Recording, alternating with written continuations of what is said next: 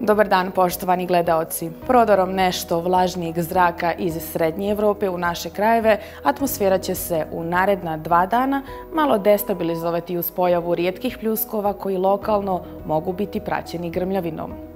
U istočnoj i centralnoj Bosni tmurno i kišovito. U većini gradova moguća je i grmljavina, ali samo na kratko. Padavine će usloviti vlažan vazduh. Zbog strujanja vjetra sa sjevera i temperature će biti u padu od 24 do 27 stepeni. U Sembiriji i Posavini slične vremenske prilike, ali na ovom području bez grmljavine. Padavina će biti slabog intenziteta i prolaznog karaktera. Puhaće slab do umjeren sjeverni i sjeveroistočni vjetar. Maksimalna dnevna temperatura dostići će 27. podijok. Na zapadu i sjeverozapadu BiH promjenjivo. Jutros je samo lokalno bilo padavina.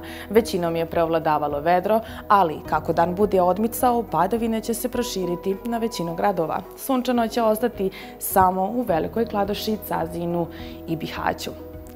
Destabilizacija vremena zahvatit će i uvijek sunčanu Hercegovinu. U gotovo svim gradovima preovladavaće tmurno i kišovito. Sunčano će biti samo u našem jedinom gradu s izlazom na Jadran, Neumu. U Hrvatskoj uglavnom stabilno. Pljuskovi bi mogli zahvatiti samo Dubrovnik. U Srbiji danas svuda padavine prolaznog karaktera, zatim slijedi stabilizacija vremena. Što se tiče ostatka regije, stabilno će danas samo ostati u Beču. Toliko vremenu. Hvala vam na pažnji. Ostanite uz program OBN televizije.